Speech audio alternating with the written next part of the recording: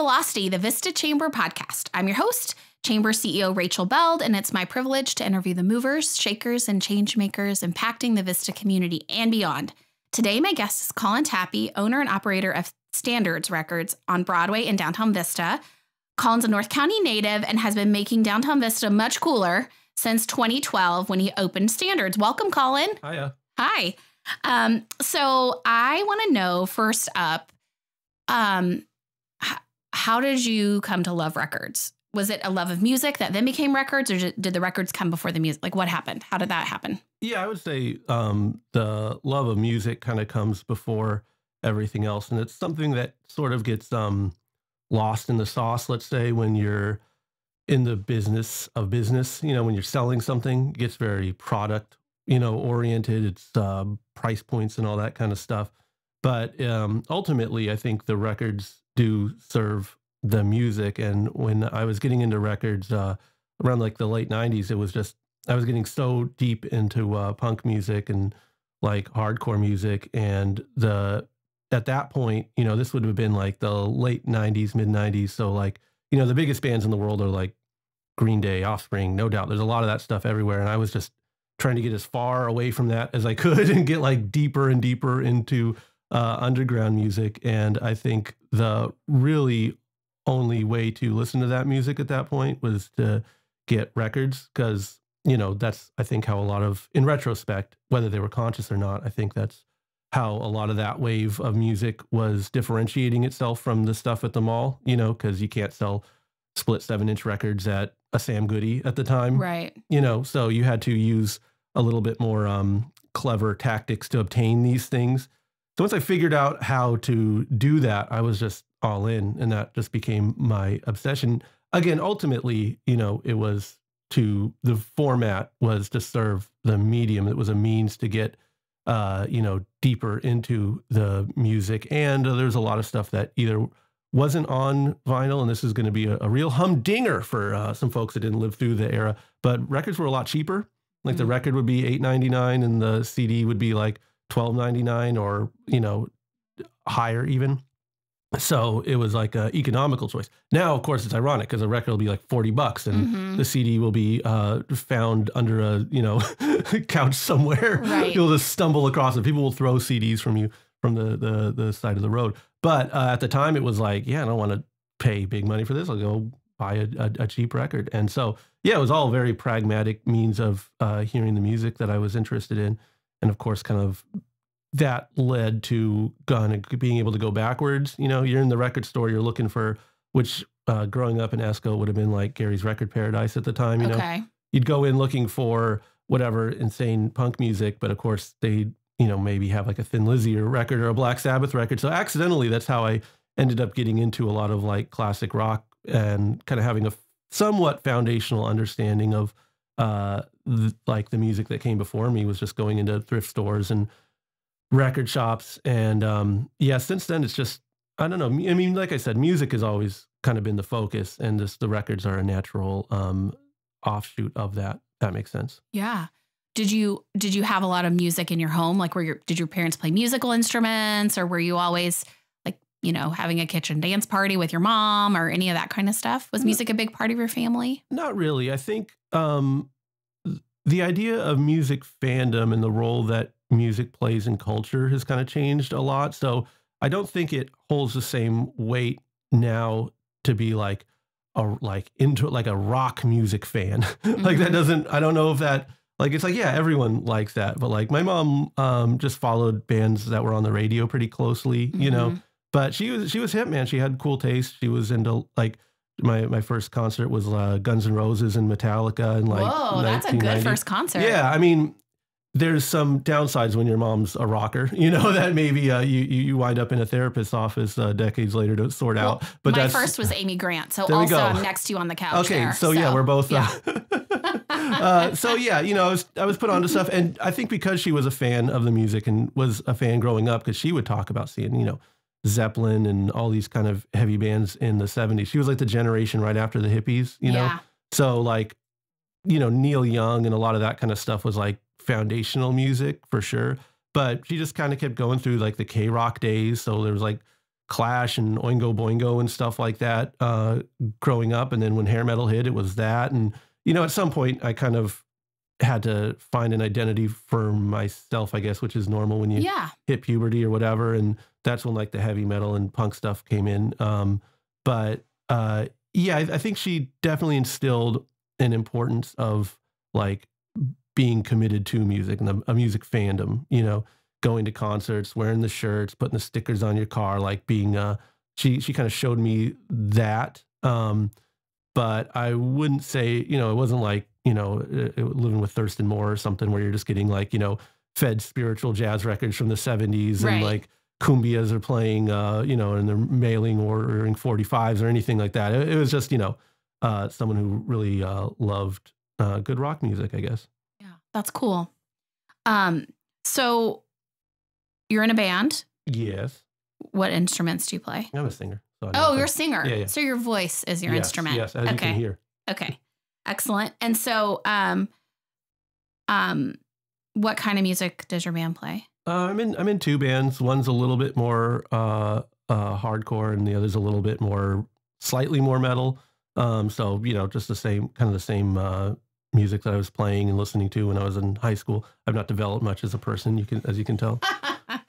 so does your band play like gigs or you just like you like hang out or I mean, yeah, we play. I mean, we put out records and stuff like that. And That's Oh, whoa. another thing that put me to records is like you know. Like when Bill Clinton was in office, we were like pressing seven inches ourselves and, you know, like That's trading cool. them with labels across the worlds and stuff. Like uh, hardcore as a subculture, like um, it's very like involved. Like you have to kind of do things. It's not necessarily just. It's not like being a fan of um, you know someone on the radio where it's just you're there to consume. You know, you, you they they sell you buy.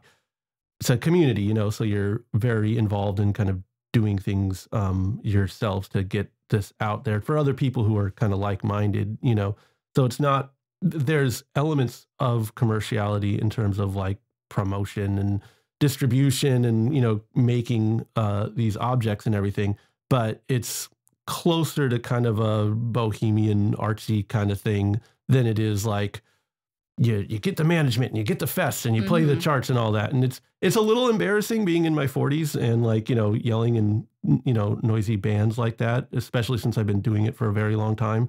Um but I think you'd have to kind of be involved in the culture like from that community to kind of get it. Um but yeah we're we're we're active in the community That's cool. That's cool. Okay. very niche community but all right we'll have to put a link to to Sure. your band info in the show notes for sure go. okay so i have to ask um are you are you a personal collector of records and if so how big is your collection Um, yeah, I mean that's like I've I I distinguish between like collecting and just having records in terms of uh, a collector is sort of very the object is what's Okay. important. so not know? using it necessarily right, or Okay. even maybe not necessarily not using it, but let's say you know having a proper A1B1 stamped mono white label promo version of XYZ album and that's what there's different ways people collect, you know. I'm not too I used to be very pedantic about those sort of things, but I just kind of have a lot of records at this point. Yeah. I don't know how many, you know, like but you have ones that you want to use you Yeah, want to listen to them They're, you don't just have them to have them Yeah, yeah. And it's like, you Yeah. know, it's weird too because, you know, this stuff that I'm interested in is so niche. Like, I could show you, you know, this, oh, I hunted for years for this. And it would just be like, you know, be like showing you, you know, uh, uh, a piece of abstract art or something, you know, when like it doesn't, it, I, I, I can't be all like, oh, here's a signed uh, Beatles thing. I, I don't know why that's what people can connect to. Right, so, right. so it's not really like something that I could be like, look at all this cool stuff I have, or have like an Instagram account where I show off all my things. It's it's just so uh, it's just sort of you know catered to what I'm interested in. So yeah it's personal to you yeah, there's a bunch Yeah. of records, but I don't know that it's like you know a collection per okay se. got it okay so i want to talk a bit about the store Yes. So when you, um, and I know you worked at a record store before you opened Standards, Mhm. and so when you decided, hey, I'm going to open a record store, why did you choose Vista?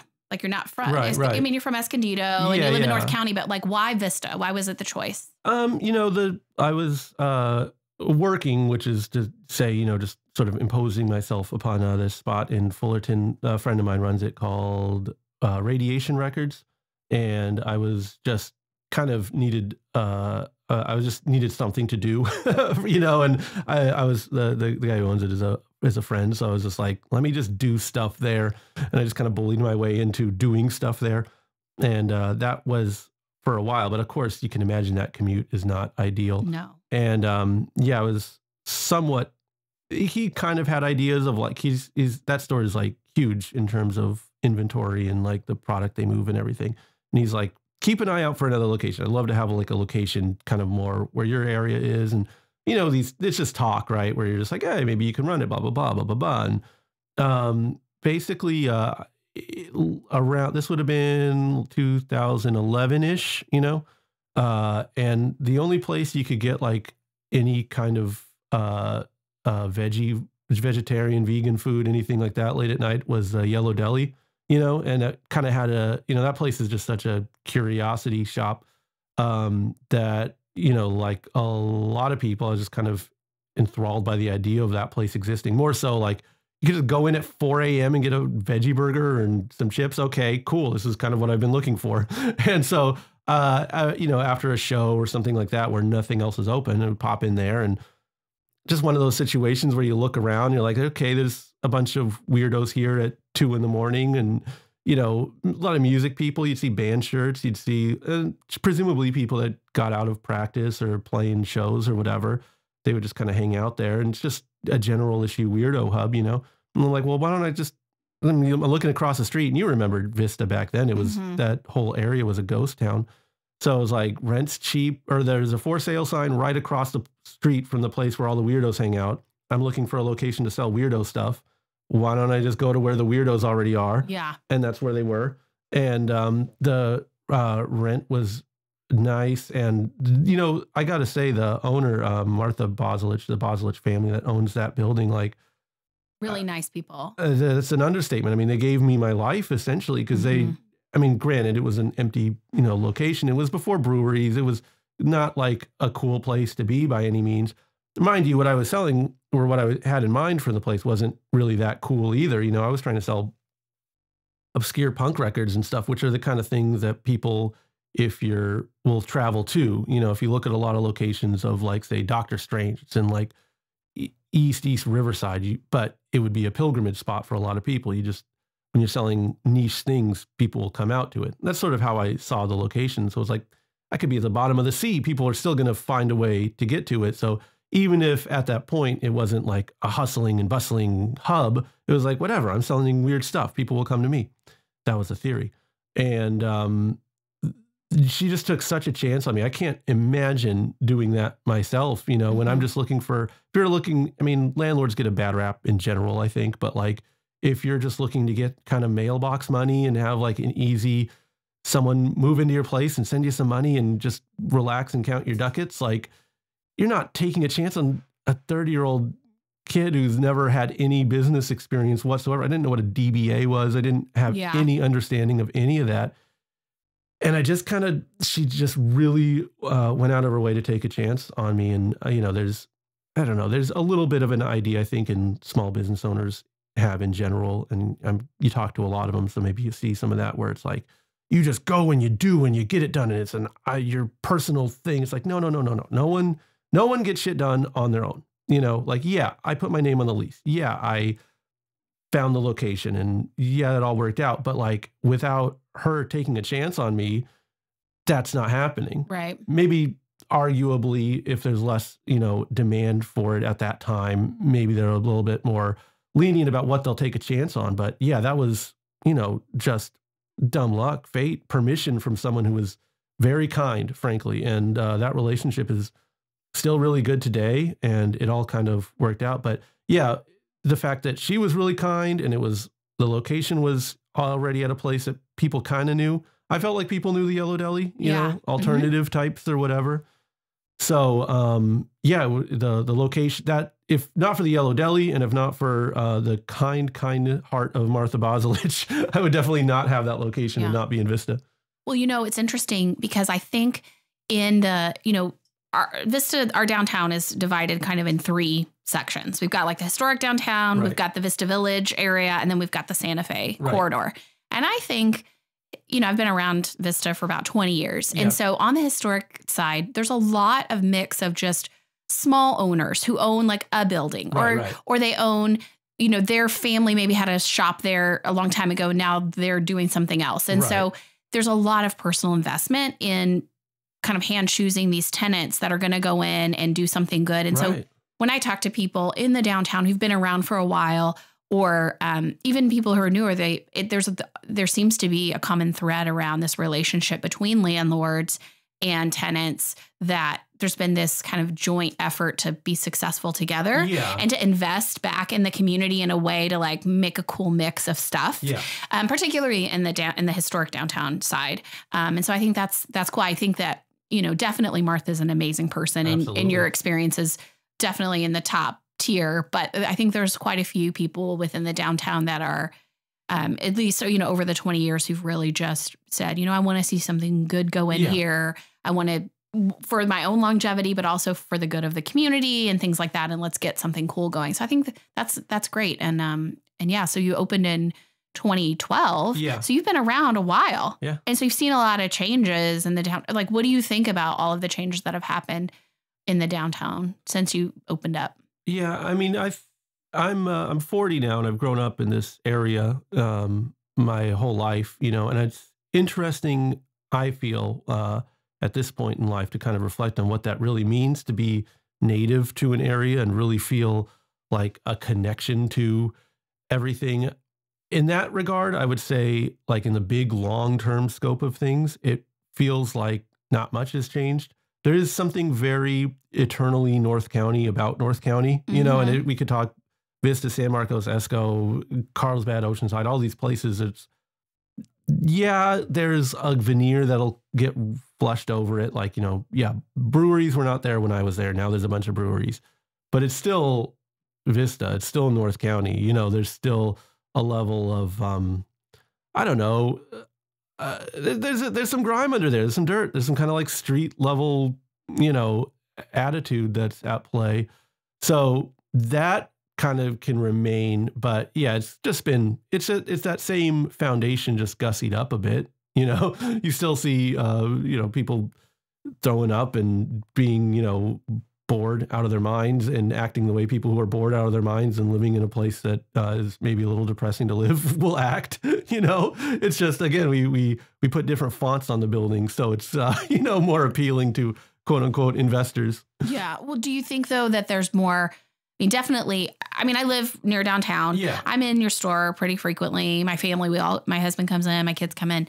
Um, and so it seems like there's more people in there Yeah. like lately and there's more foot traffic and, you know, with restaurants nearby and other, other things. I mean, the, the Yellow Deli was kind of, like you said, the, on Broadway, kind of the main game for a long time. And now there's other, other options and that things come and things go and there's like this ebb and flow, but it does seem like there's like more foot traffic. Do you think it's easier to run it to be successful in business now Oh, with the growth in the downtown, or do you think it was easier before when it was a little more sleepy? Yeah, I don't know. I mean, it's so hard to say because I think any business is supposed to get a little bit busier as they go along. That's the goal. Yeah. So, I mean, I don't know how much of that is just, um, you know, building a clientele over the years Mhm. and how much of that is uh, stuff opening up. I mean, if I'm being honest, like, I don't see people who like records are people who like records Mhm. and that's a niche community and people who will pay money for records are people who will pay money for records. People who will walk into a store with the intention of buying something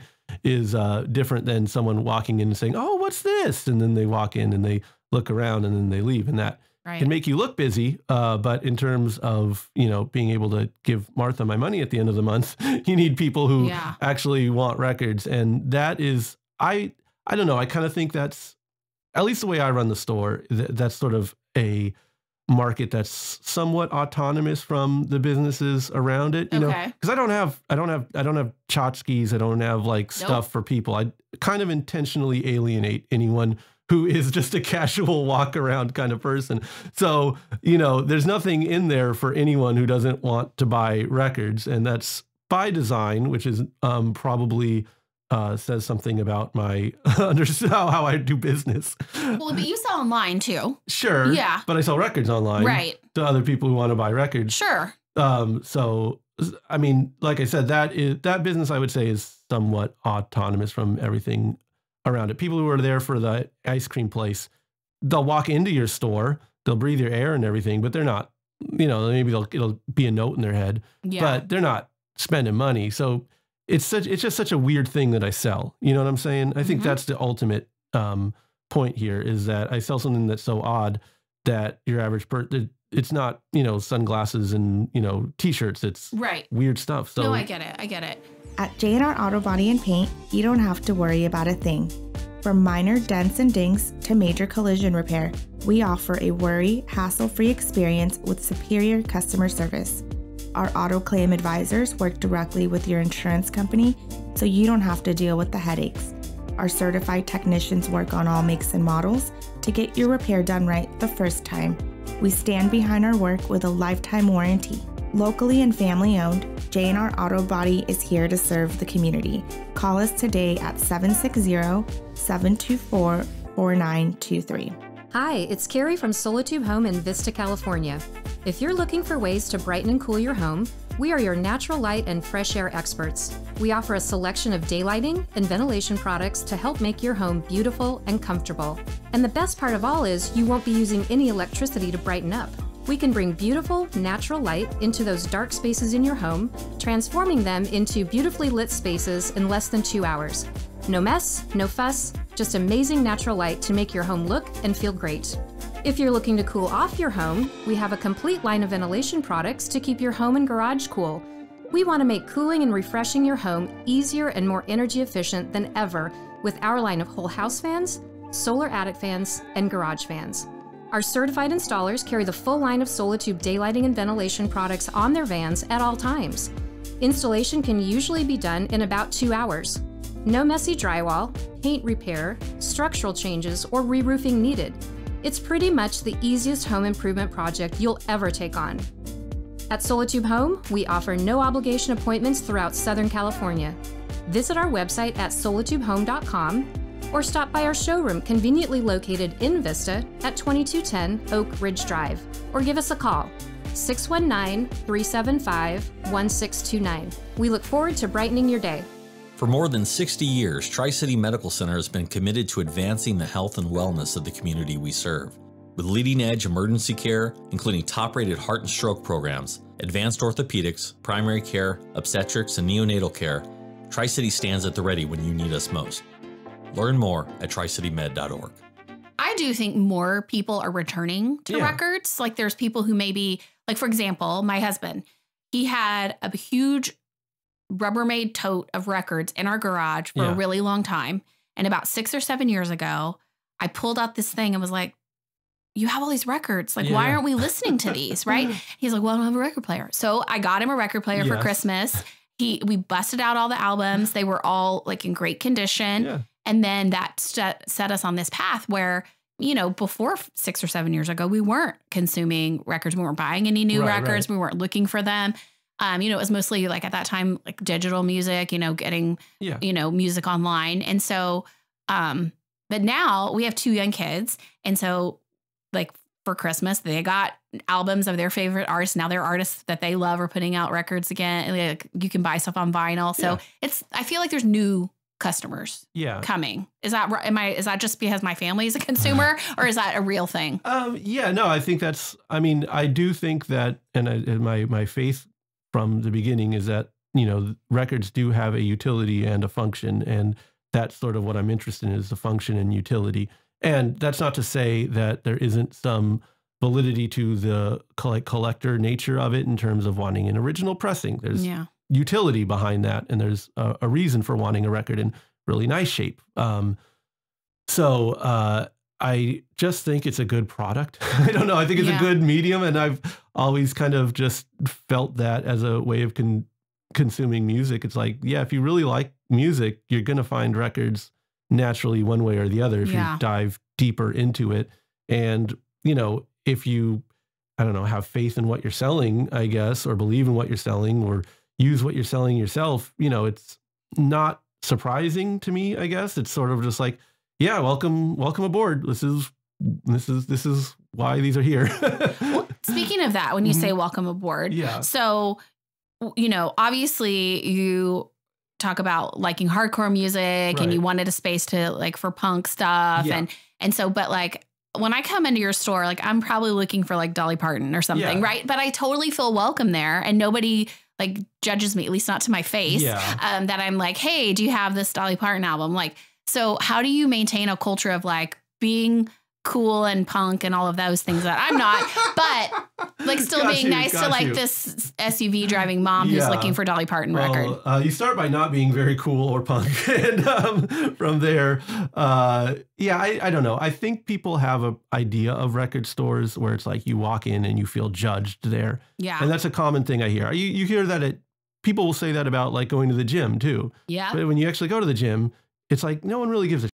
You know, ultimately, no, and that's in a weird way. And this is just you know a, a philosophical musing. I think kind of a harder pill to swallow is that no one cares. Like it's more Yeah. appealing in a way to think that when you go into the the hip young establishment, and uh, no one's hip or young around here. You know, again, North County. We're not. If we were really cool, we wouldn't be in Vista. You know, so it's not that cool. I disagree. I do think Vista's cool. I'm just saying it's not like you know it, there's difference. It's not like you know you're walking into some uh, you know uh, New York City spot or you know some place where with a little bit more of an edge or whatever. You know, no one's that cool. So if you there's an idea that you walk in and people are just going to look you. Oh, what do you want?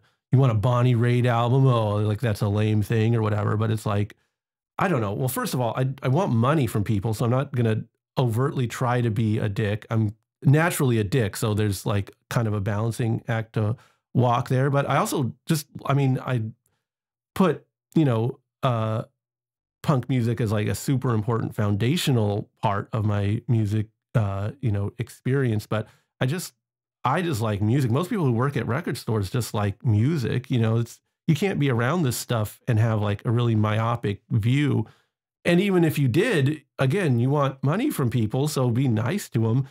I think a lot of the judgments that people feel from record stores in general are sort of just personal insecurities. You know, Yeah. I would say if you walk into the store and you don't feel judged or it's because you're just secure in yourself. And it doesn't i don't know i, I feel like the uh, record store clerk does or any clerk or anyone else in the world doesn't really who isn't if they're not pelting you with rotten fruit or something that the way you feel judged or belittled is to them. And then you know as far as like just demeanor of a business you know there is I think it would be a little weird if you walked into a record store and they treated you like you walked into Nordstrom's, where it's like, "How can I do for you today?" Yeah. Okay, yeah. What are you looking for? Okay, well, let's go right over here and check that out. Okay, well, let's get out. You know, if you're like that, Too much. it's too much. Yeah. Don't do you that. want a little bit of like, "Hey, how's it going? All right, cool." Like you just need a little bit of like, you know, you know how to look space. for things. You want space yeah. just to like feel it out. Yeah, and I mean that's just I mean for me, I mean I grew up working at like video stores and stuff, so like I retail is just I, I was working retail so young that it's just that I don't know. I, I I like it as far as a means of social interaction. I always compare it to like bowling when you put up the bumpers on like the gutters, you know? Like if mm-hmm. you're in the retail interaction, people talking, it's not there there's there's sort of like a safety net. You know, we're not going to get into our childhood traumas or, you know, weird sex life kinks when we're, you know, shopping for records. You're gonna be like, hey, can I help you with something? All right, cool, let me know. All right, you're just taking this? Okay, cool. Like, you know, Yeah. you're on rails, sort of. So again, if you can be in a situation like that and feel judged, I'd that's again, that's just a personal issue for you. That's a you problem. Okay. I, all right. Good. Well, I'm glad I don't feel judged. There you okay. go. Um. Speaks well to your sense of self security. Okay. Thank you. I have a decent self esteem. That's good to know. So, what's your favorite thing about about your work? What's your favorite thing about Standard Record Store? I mean, I think in to be useful is I think under reported in uh, culture, and it's probably the most important thing. I think if you really boil down even a lot of like spiritual practices, religions, philosophies, I- ideologies, they sort of in some way or another at some point will just be about being useful to someone, serving a purpose, right? Wow. And it's a weird purpose to serve for sure. Um, to be like a place where you can walk in and you know buy a, a Dio record or something, but um, it is when on, I started to really notice this like around like Christmas time and stuff. People come in for gift certificates, which doesn't you know that seems blasé or something that you know would be commonplace for retail, and it is. But if you were a place that didn't exist before and you made that place exist again through cooperation of community and everyone else now there was a place that wasn't there and now not only are you do you exist but people come to you for gifts for someone someone is going to open that on christmas day and be like oh wow cool you know a gift certificate to go to a place you know like that's in a way, again, it's commonplace, but it's also putting faith that that place is going to be there the next day, yeah. which is that's not nothing, man. You know, and yeah, it's like I don't know. I have such uh, uh, limited skills in life and limited interests and abilities. You know, I'm just not like a particularly uh, talented person, and I wasn't like I don't know, I'm not like from a family that has an industry like, oh, we're farmers. We're going to teach you how to farm and right. you're going to farm. It was like,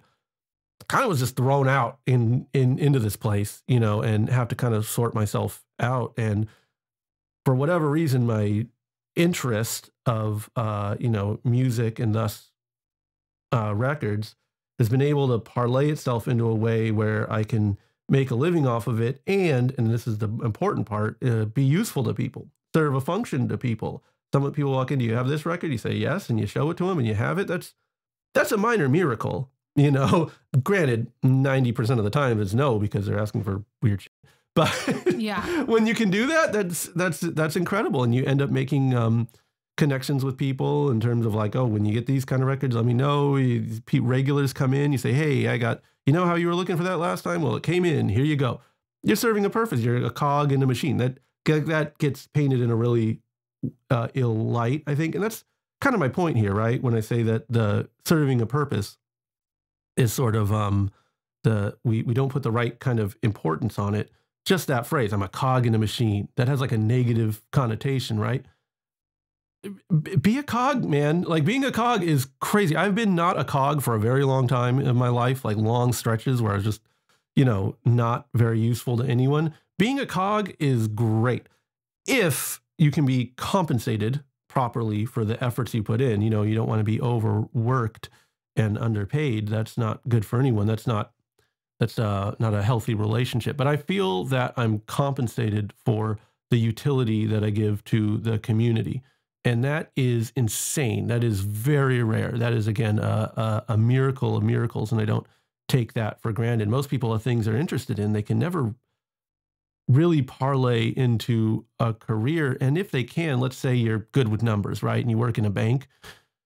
That's great. You know, you, you you're you're serving a purpose. Don't get me wrong, and maybe you're getting compensated for it. Even that's very great and a very lucky uh, place to find yourself. But I don't know that you feel that sense of purpose because mm-hmm. you're kind of pushing paper around. When you see someone's face when they get excited because you found something for them, that's a different level of utility, or that's a different sort of compensation you can get for that utility. No, it's that's a, that's a comp. It's a long answer, but it's a it's a complete one. Uh, yeah, being able to be useful. That's my favorite uh, part about having having this job. Very rare, I think. Very difficult to find.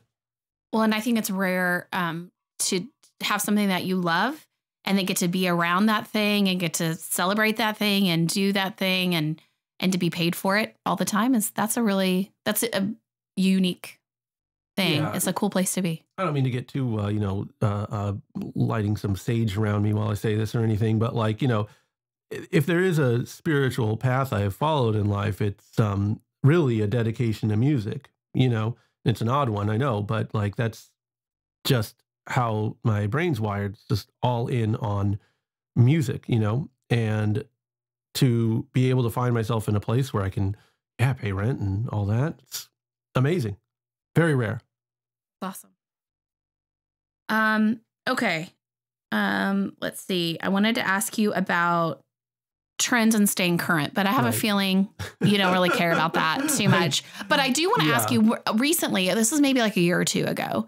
I saw something you had had online about like a Pokestop or like Pokemon Right, something, right, right, right. So tell me, like that's a trend. That's a cool new thing, right? Or at least it was. So what made you collaborate or like be a Pokestop or whatever? I don't even remember what it was. It was like a Pokemon training. All right. So you, Tell you- me, help me out here. What what, what am I talking about? Vista, I'm going to put you on to a, a, a underground culture um, Okay. of Pokemon Go players, uh, which exists and is thriving in this area, which you wouldn't know unless you had this played this stupid game every day like I do. No, I'm just obsessed with this dumb game. I've played it every day of my life for seven years now. Wow, Pokemon Go. Pokemon Go, every day of my life, seven years is dedicated to this uh, game on my phone. My nine-year-old son's also pretty into it, That's the level of intellect you need to have to be invested into and his name's game. Colin as Okay, well. So there there, we go. go. But no, I'm I'm obsessed with this stupid game, and they had something. I mean, these companies, uh, they they they try to like uh, you know make themselves sound nice or whatever, but they're like, we're having. Uh, you can you, you if you're a business, you can kind of pay to have your thing made into uh, a, a gym in Pokemon Go, and um, and a gym is like a place where people go to Yeah, find the Pokemon exactly. or like Or- have a battle or whatever. Yeah, the more Okay. gyms and stops that are in a location, the more it will draw people to play to that location to play the game because there's just more activity Okay. going on in it. And the downtown Vista has always, since the game's inception, been like a big hub for it. Yeah, like All- the, all the kites and all the like different. Yeah, they all things. get turned into things in the game that you can uh, play with. And the company was like, hey, for business, small business relief, right? We're gonna like let any business that wants to be tell us why you can you want to be a Pokemon stop.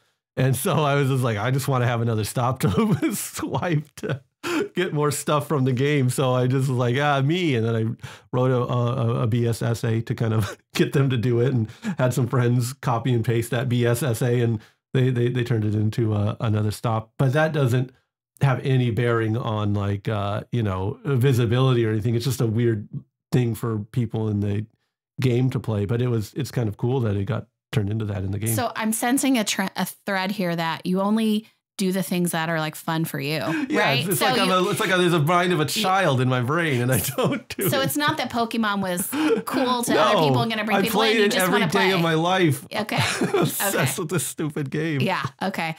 Yeah. My son is like always begging me for like money to buy like more Ah, don't do that. memory or toys or Yeah, I, no, I don't don't do give him that. I don't give him any money. I'm like free only. no, no, no. Yeah. That's a free to play Yeah. game. Yeah, yeah, yeah. Okay. Anything else about standards that you want people to know that we didn't talk about? Uh, Do you have any like do you do events? I try not to. Okay. Just follow us on Instagram. How about that? You know what we do? We've I've been I, I, I every week I'll I have a YouTube channel and every week I Yes. go on and I uh, I talk with Dylan about the my, my other employee, one of the other employees that works there, about uh, records we got in, so you can kind of see what we have, even if you're uh, keep up on what we get regularly, even if you don't come in the store. Um, I think if you click on our Instagram, any of the socials, they're all linked. Uh, uh, Standards Record Store on Insta, and you can uh, see the YouTube videos on the channel. We work kind of hard on them, so that's a that's a fun little thing that we got. That's something, right? Yeah. And I have to tell you, so when you post those, my husband looks at them yes. and he has um, several times gotten in the car and come over right away and bought something. So goal. it works, right? Yes. It works. It it's does. working. It does. Yeah. For all Yeah. The, the evils of social media that we Yeah. like to say, hey, helps me you move some units, so that's something. yeah, he'll say, "I'm." He'll be leaving. I'm like, "Where are you going?" He's like, "Standards." I'm like, "Did they post?" He's like, "Yep, I got to go get something." I'm like, "Okay, go that's for how, it." that's how it's done. There that's you how it's go. done. Okay, all right.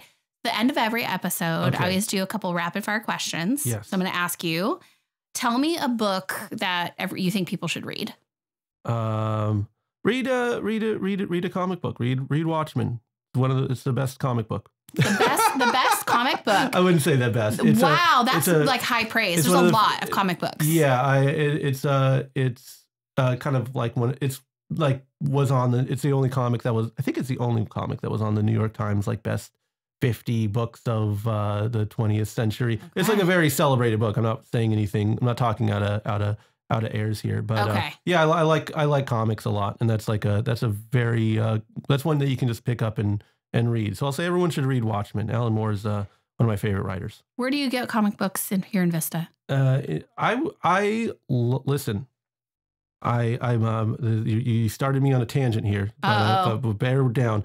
Um, the best comic book shop is probably your library. If your comic book Oh. if your if your library and the people who stock it are worth the salt, I think if you want to find comics that are outside of like the weird like superhero fanboy thing that the medium gets kind of pigeonholed as, if you walk into a comic shop, it's kind of confusing. And there's, I know that I I know there's a shop in uh, San Marcos, and I'm really frustrated that I can't remember the name of it. There's also uh, comics and stuff in the mall at the Murder Mall in Carlsbad. I don't think Vista specifically has a comic shop. Um, but it's those places are super intimidating because you walk in and it's like just Nightwing and all these like weird superhero stuff that's like, you know, important to the people that follow it. But if you're outside of it, it's Yeah. way too intimidating. Well, I love the library plug because you know I think people really underutilize the library. There's so many amazing things that you can get at the library, and I didn't even think about comic books. So look, look up. so uh, I'll look it up. Yes, go and look up a, a big name comic like a like a Watchmen or a uh, Mouse or uh, you know any, any any kind of like graphic novel you've heard of. Look it up, and wherever it's located, go there and just look at all the graphic novels they have and and pick out one and or two and read them. It's I don't know. I, I feel like I'm I'm um it- it's strange to see like comic like superhero movies get very popular, but comic book literacy just kind of completely decline. So I'm a very uh, avid champion of of uh, people reading uh, more comics and graphic novels and stuff in the library. And you know what's one of the the absolute best places I would say in all of San Diego to uh, read comics is the library at Palomar because there's one guy who runs a history of comic book courses class Oh. there, and he makes that that I I cannot tell you if you really want to learn about a medium, just go sit. You don't have to check it out. You don't have to be a, a Palomar College student. Just go to the Palomar College Library, find their comic book section, and just every great work is there on the Wow, shelf okay. for free, and you can uh, have your you know look up any list of greatest graphic novels, greatest uh, comic books, and I promise you, at least one in ten that's on that list will be on the shelf at Palomar College, and that's to me the best place. But your library, I go to Carlsbad Library a lot and, and Okay. check them out. all right. Way too long of an answer for that. What do you Okay, so this one might be hard for you since you love music so much, but um, tell me a song, a song you love. You, uh, you could even say an album if you want, but what's your jam? I, my my my my stock answer is uh uh the song uh, "The Tiger" from ABBA. Um, I think it's it's a it's a perfect song. I think song a song is like kind of a um art in itself, Mhm. right? It has to be self-contained, usually three and a half minutes, whatever you, you're whatever you put the mark at. A song has to be a song. Uh, You know, I love I love Bob Dylan stuff, right? But it's like I don't know that those are juke ju- jukebox hits for Right. the most part. You know, you have to listen to the whole record, and like th- that record sits in a place in his catalog, and that catalog sits in a place in American history. Like you have to really have context for uh for a good Bob Dylan song. Whereas ABBA's "The Tiger," any place, anywhere, anytime that song comes on, it's it's perfection. Everything I really love about music is in that song. Wow, that's a great answer and not at all what I expected you to say. Well, I mean, you said songs. Yeah. A- who wrote better songs than ABBA, really? that They're- very they're- few people surprised me. That was a very surprising answer, and I love it. Love it. Um, okay, tell me something that inspires you. Um, that's a that's, don't ask middle aged men that question. We've run out of. Shit.